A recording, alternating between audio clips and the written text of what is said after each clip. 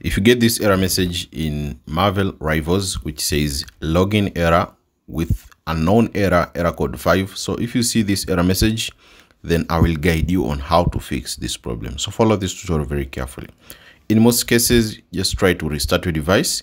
Then after restarting your device then you can try to open the game to see if it can help you fix the problem. If you've restarted your device but you're still facing again the same error message which says unknown error error code 5 then let's go to another step which is wait for a few hours and then try again since servers may be down due to many people trying to log in. As you can see someone was facing this issue as you can see on the marvel rivals subreddit and he shared this. He was facing the error message and then someone suggested that i just keep i just keep insisting and eventually it log in. So as you can see I just keep insisting and it eventually logs in. Also, someone was also facing this problem as you can see.